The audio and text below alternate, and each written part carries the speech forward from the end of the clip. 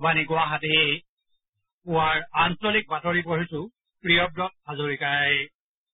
আজিৰ প্ৰধান বাতৰিৰ ভিতৰত আছে ৰাজ্যত তিনিটা পৰ্যায়ত অনুষ্ঠিত হ'বলগীয়া লোকসভা নিৰ্বাচনৰ বাবে বিভিন্ন ৰাজনৈতিক দলৰ প্ৰচাৰ অভিযান তীব্ৰতৰ। প্ৰধানমন্ত্ৰী নৰেন্দ্ৰ মোদীয়ে কাইলৈ অৰুণাচল প্ৰদেশত আৰু কংগ্ৰেছ সভাপতি ৰাহুল গান্ধীৰ অসমত নিৰ্বাচনী প্ৰচাৰ। তৃতীয় পৰ্যায়ৰ নিৰ্বাচনৰ বাবে এতিয়ালৈকে আঠগৰাকী প্ৰাৰ্থীৰ মনোনয়ন পত্ৰ দাখিল। ৰাজ্যৰ ডিটেনশ্যন কেন্দ্ৰসমূহত থকা বিদেশী হিচাপে চিনাক্ত লোকসকলৰ গ্ৰেপ্তাৰৰ ক্ষেত্ৰত অসম চৰকাৰে অৱহেলা কৰা বুলি উচ্চতম ন্যায়ালয়ৰ তীব্ৰ অসন্তুষ্টি প্ৰকাশ।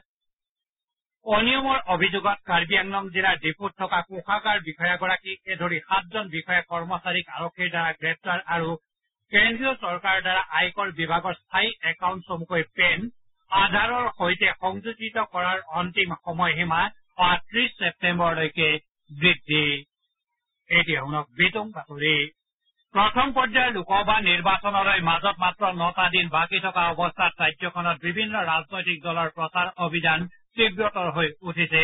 ভাৰতীয় জনতা পাৰ্টী কংগ্ৰেছকে ধৰি অন্যান্য দলসমূহৰ শীৰ্ষ নেতা তথা তাৰকা প্ৰচাৰকসকলে বিভিন্ন ঠাইত ব্যাপক প্ৰচাৰ অব্যাহত ৰাখিছে। কংগ্ৰেছৰ সভাপতি ৰাহুল গান্ধী কাইলৈ নিৰ্বাচনী প্ৰচাৰৰ বাবে অসমলৈ আহিব। শ্ৰীগান্ধীয়ে দলীয় প্ৰাৰ্থীৰ হৈ ৰাজ্যখনত প্ৰচাৰ চলোৱাৰ লগতে নাগালেণ্ডৰ ডিমাপুৰত নিৰ্বাচনী সভাত অংশগ্ৰহণ কৰিব।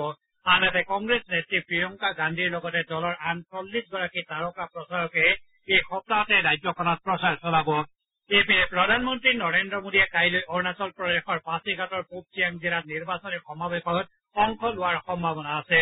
শ্ৰীমোদীয়ে অহা সাত এপ্ৰিলৰ অসম বৰাক উপত্যকাত নিৰ্বাচনী প্ৰচাৰ চলোৱাৰ কথা আছে। আনহাতে বিজেপিৰ ৰাষ্ট্ৰীয় সভাপতি অমিত শ্বাহে অহা পাঁচ এপ্ৰিলত অৰুণাচলৰ নামচাইত এখন নিৰ্বাচনী সভাত অংশ ল'ব ৰাজ্যৰ অন্যান্য ঠাইত কালিও ভালেমান ৰাজনৈতিক দলৰ নেতা কৰ্মী আৰু নিৰ্দলীয় প্ৰাৰ্থীসকলে নিৰ্বাচনী প্ৰচাৰ চলায়। নগাঁও লোকসভা সমষ্টিত কংগ্ৰেছ প্ৰাৰ্থী প্ৰদ্যুৎ বৰদলৈয়ে কালি হোজাইত কেইবাখনো নিৰ্বাচনী প্ৰচাৰ সভাত অংশগ্ৰহণ কৰে। যোৰহাট লোকসভা সমষ্টিত কংগ্ৰেছ দলৰ প্ৰাৰ্থী সুশান্ত বৰগোহাঁয়ে কালি সোণাৰী সমষ্টিত নিৰ্বাচনী প্ৰচাৰ চলায়। আনহাতে কংগ্ৰেছ দলৰ বিধায়ক তথা বিৰোধী দলৰ সভাপতি দেৱব্ৰত শইকীয়াই কালি নাজিৰাৰ বিভিন্ন ঠাইত প্ৰচাৰ চলায় কৰিমগঞ্জত বিজেপিৰ প্ৰাৰ্থী কৃপানাথ মল্লাৰ হৈ কালি দলৰ ৰাজ্যিক সভাপতি ৰঞ্জিত কুমাৰ দাসে প্ৰচাৰ চলায় কোকৰাঝাৰ লোকসভা সমষ্টিৰ অধীনৰ বাক্সা জিলাৰ খাগ্ৰাবাৰীত কালি বি পি এফ দলৰ উদ্যোগত অনুষ্ঠিত নিৰ্বাচনী সভাত ইউ পি পি এলৰ উপ সভাপতি ৰণগৌৰা নাৰ্জাৰীয়ে অংশ লয়। এ ইউ ডি এফ দলৰ সভাপতি মৌলানা বদৰুদ্দিন আজমলে কালি হাইলাকান্দি জিলাৰ চন্দ্ৰপুৰত দলীয় প্ৰাৰ্থীৰ হৈ প্ৰচাৰ সভাত অংশগ্ৰহণ কৰে। ৰাজ্যখনৰ তৃতীয় পৰ্যায়ত অহা তেইছ এপ্ৰিলত অনুষ্ঠিত হ'বলগীয়া লোকসভা নিৰ্বাচনৰ বাবে মনোনয়ন পত্ৰ দাখিল প্ৰক্ৰিয়া অব্যাহত আছে। এই পৰ্যায়ৰ বাবে এতিয়ালৈকে আঠগৰাকী প্ৰাৰ্থীয়ে মনোনয়ন পত্ৰ দাখিল কৰিছে। কালি গুৱাহাটী সমষ্টিত ভাৰতীয় জনতা পাৰ্টীৰ প্ৰাৰ্থী কুইন ওজা আৰু কংগ্ৰেছ প্ৰাৰ্থী ববিতা শৰ্মাই মনোনয়ন পত্ৰ দাখিল কৰে।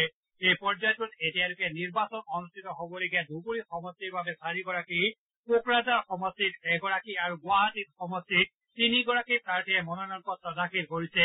আজি কেইবাটাও সমষ্টিৰ বাবে বিভিন্ন ৰাজনৈতিক দলৰ প্ৰাৰ্থীয়ে মনোনয়ন পত্ৰ দাখিল কৰাৰ সম্ভাৱনা আছে।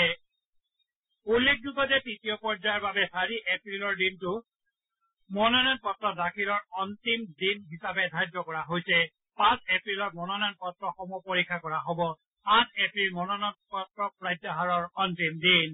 ইফালে প্ৰথম পৰ্যায়ত অহা এঘাৰ এপ্ৰিলত লখিমপুৰ যোৰহাট কলিয়াবৰ ডিব্ৰুগড় আৰু তেজপুৰ সমষ্টিৰ বাবে একচল্লিছগৰাকী প্ৰাৰ্থীয়ে প্ৰতিদ্বন্দ্বিতা কৰাটো নিশ্চিত হৈছে।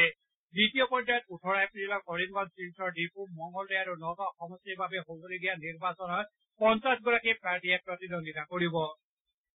আসন্ন লোকসভা নিৰ্বাচনৰ বাবে প্ৰায় চল্লিছ হাজাৰ ই ভি এম ৰাজ্যখনলৈ অনা হৈছে। এই ই ভি এমসমূহ কেইবা তৰপীয়া পৰীক্ষা তথা নিৰীক্ষণৰ মাজেৰে বিভিন্ন ভোটগ্ৰহণ কেন্দ্ৰত স্থাপন কৰা হ'ব।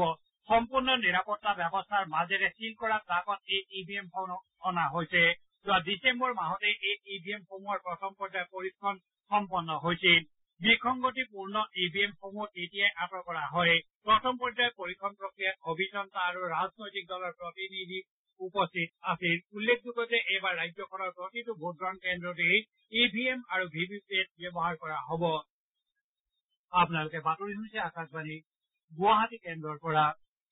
উচ্চতম ন্যায়ালয়ে ৰাজ্যখনৰ ডিটেনশ্যন কেন্দ্ৰসমূহত থকা বিদেশী হিচাপে চিনাক্ত লোকসকলৰ গ্ৰেপ্তাৰৰ ক্ষেত্ৰত অসম চৰকাৰে অৱহেলা কৰা বুলি তীৱ অসন্তুষ্টি প্ৰকাশ কৰিছে।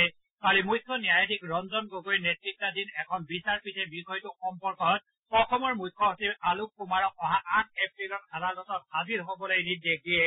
অসমৰ ডিটেনশ্যন কেন্দ্ৰসমূহত থকা লোকসকলৰ জীৱন ধাৰণৰ মান আৰু কেন্দ্ৰসমূহৰ অৱস্থা সম্পৰ্কীয় এটা গোচৰৰ শুনানি গ্ৰহণ কৰি ন্যায়ালয়ে এই নিৰ্দেশ দিছে। ৰাজ্য চৰকাৰে দাখিল কৰা তথ্যৰ ভিত্তিত ন্যায়ালয়ে কৈছে যে পঞ্চাছ হাজাৰ লোকক বিদেশী হিচাপে ঘোষণা কৰা হৈছে যদিও এশ ছয়ষষ্ঠি জনকহে বহিষ্কাৰ কৰা হয়। এই ক্ষেত্ৰত ৰাজ্য চৰকাৰ আৰু কেন্দ্ৰীয় চৰকাৰৰ সৈতে আলোচনা কৰি বিষয়টো মীমাংসা কৰিবলৈ ন্যায়ালয়ে নিৰ্দেশ দিছে।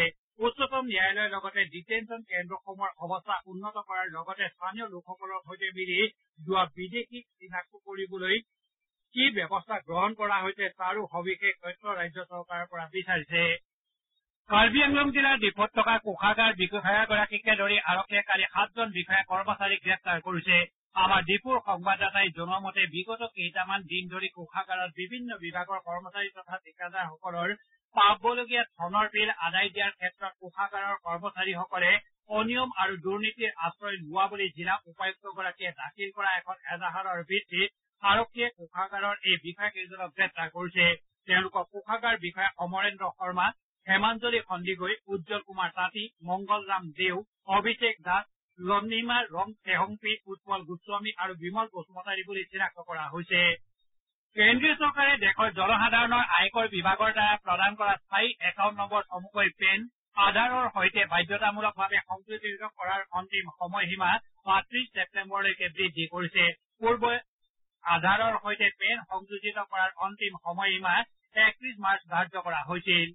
এতিয়া শুনক আজি গুৱাহাটীৰ পৰা প্ৰকাশিত কেইখনমান দৈনিক বাতৰি কাকতৰ প্ৰথম পৃষ্ঠাৰ প্ৰধান বাতৰিৰ এক চমু অৱলোকন অৰুণিমা গোস্বামীৰ পৰা ৰাজ্যৰ ডিটেনশ্যন কেন্দ্ৰসমূহক লৈ এটা বিচৰণ কালি ৰাজ্যৰ মুখ্য সচিব অনিল কুমাৰৰ বিৰুদ্ধে উচ্চতম ন্যায়ালয়ে জামিনবিহীন গ্ৰেপ্তাৰী পৰোৱানা জাৰি কৰাৰ সকিয়নি দিয়াৰ বাতৰি আজি প্ৰকাশিত প্ৰায় কেইখন কাকতে প্ৰথম পৃষ্ঠাত প্ৰকাশ কৰিছে।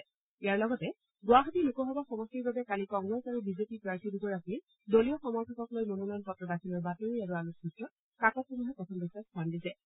ফ্লাইং স্কোৱাডৰ নামত ধন দাবী কৰাৰ অভিযোগত দুজন চৰকাৰী বিষয়া কৰ্মচাৰীক গুৱাহাটীত গ্ৰেপ্তাৰ কৰা বাতৰিটো আজি প্ৰকাশিত প্ৰায়বোৰ কাকতে প্ৰথম পৃষ্ঠাত স্থান দিছে।